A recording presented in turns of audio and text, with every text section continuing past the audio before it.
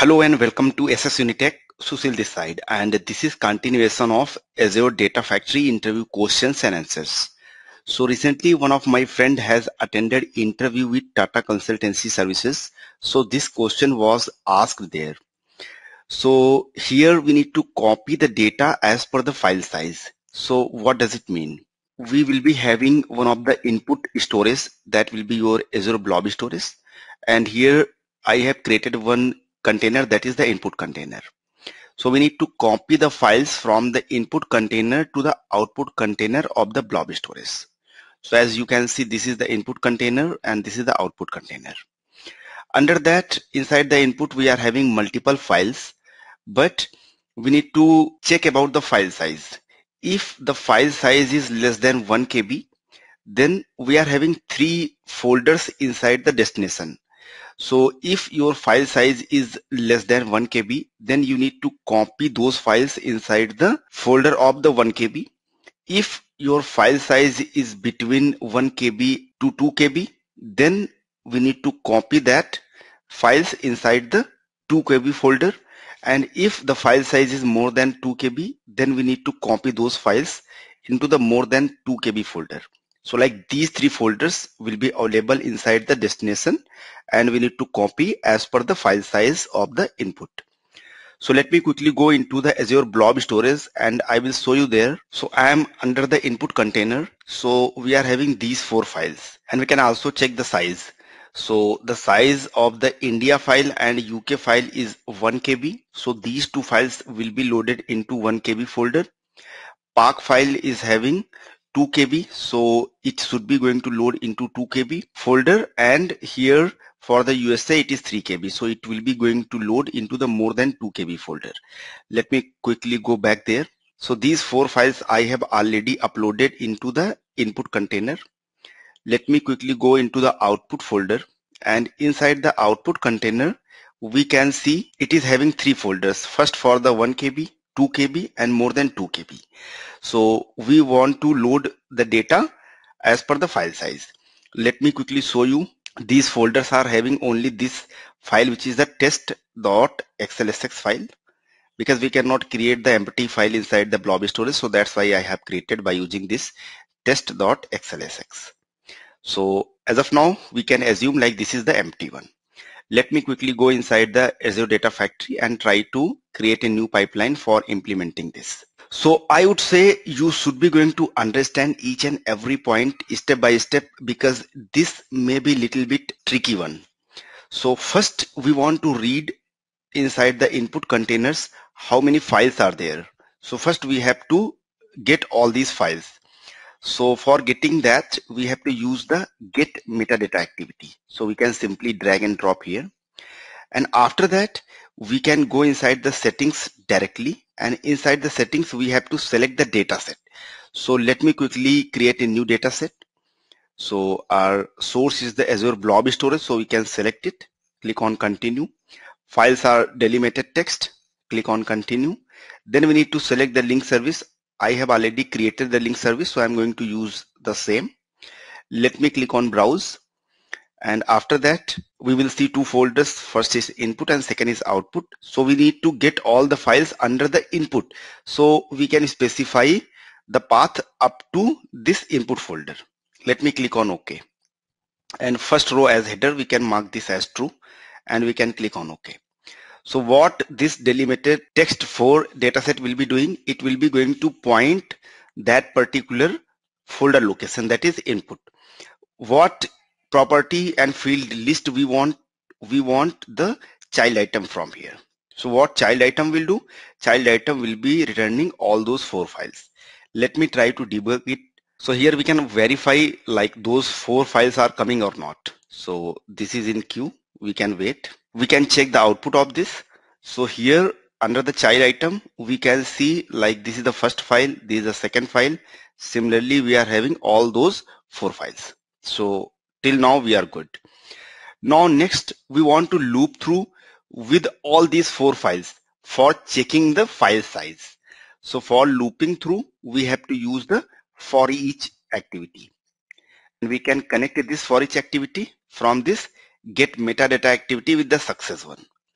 So we can simply go inside the for each, go to the settings and under the settings we can see the items.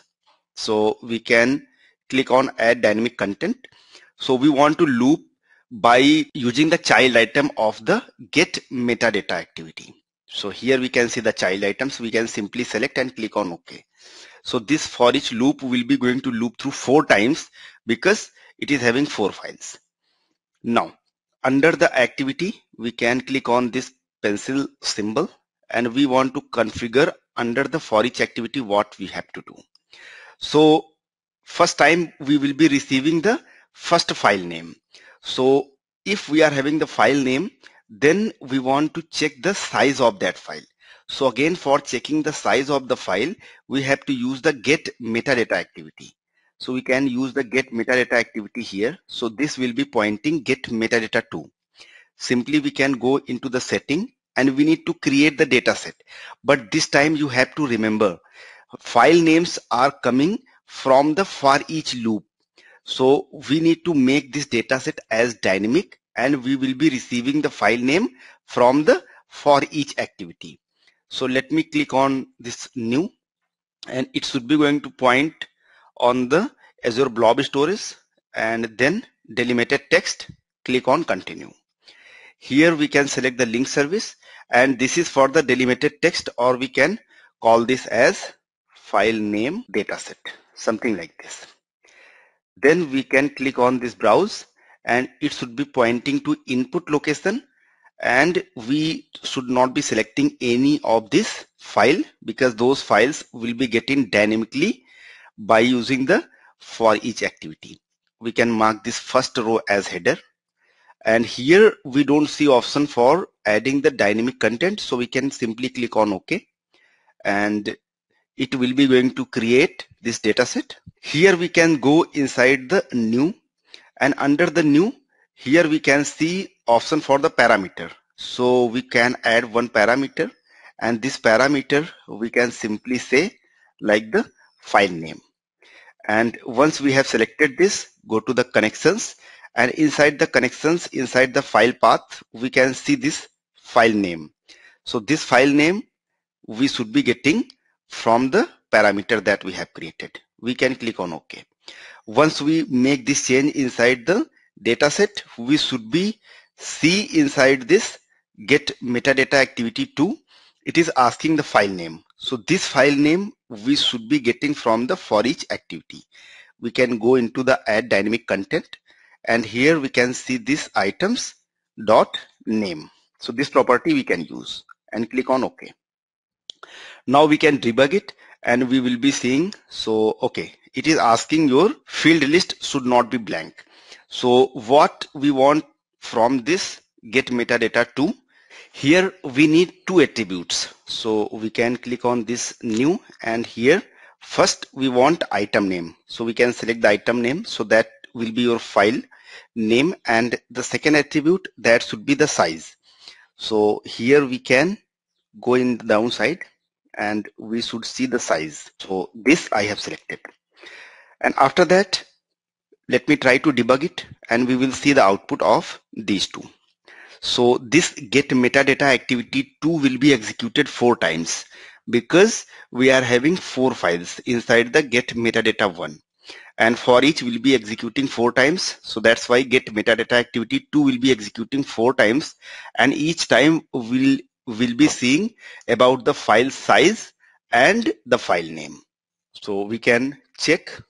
So here we can see get metadata 2 is executed four times and inside the for each if we can check the input so the item count is 4 that's why we can see those four items here. So 1 2 3 and 4 now let me quickly show you about the get metadata activity 2 so the file size that we can see the employee.uk.csv so this file is having total 149 bytes because the size is returning in the bytes. Second file we can see and it is having 1237 for the path. So as per the condition, this file should be loaded into the 2 KB folder. Similarly, we can check for this one. So for the USA, it is 2453. So it is 2.4 KB. So this file should be loaded into more than 2 KB folder. Till now we are good. We can use the copy data activity next. So copy data activity will be copying the actual files. We can select with the success one and here first we need to check how we can get the source value. So for the source value we can use the same data set that we have created for the get metadata activity 2. So that is ds file name because this is going to point on the same file at the source. So that file we want to copy. Simply we can select that file. So this is the file. Next it should be asking about the file name. So again we can get this file name from the for each and we can use the name property and click on OK. So we are good at the source. Now inside the sink, we need to create one more data set and this data set again will be dynamic. First, let me try to create that. Then I will explain. So we can select the delimited text. Here we can select the link service. Then we can browse to the output folder. And inside the output folder, we are having these three folders. We don't know on which location we will be copying the file. So we can simply click on OK without selecting anything inside the directory.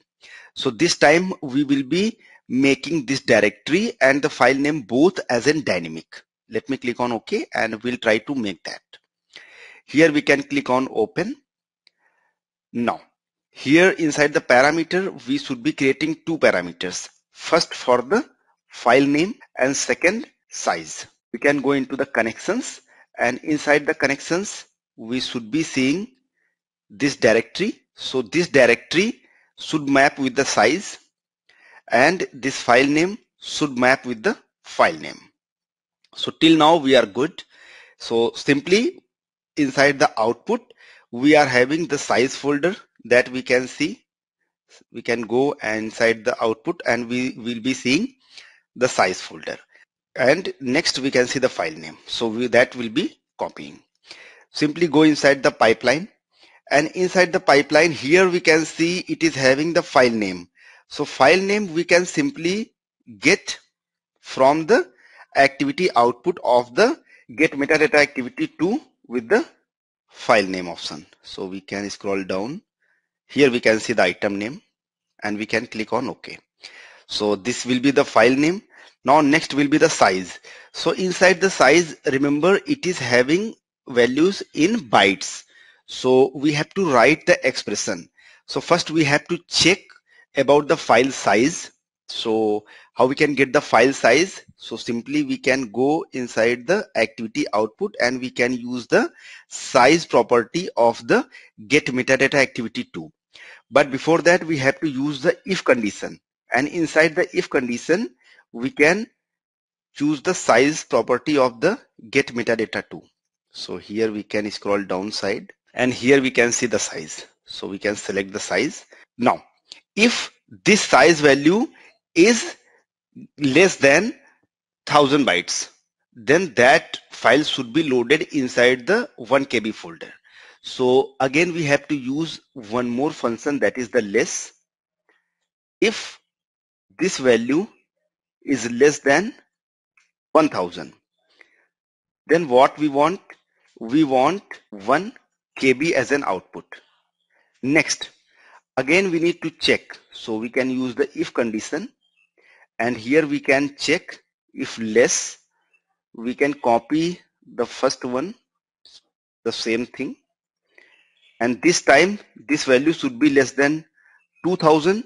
Then we want as an 2 KB.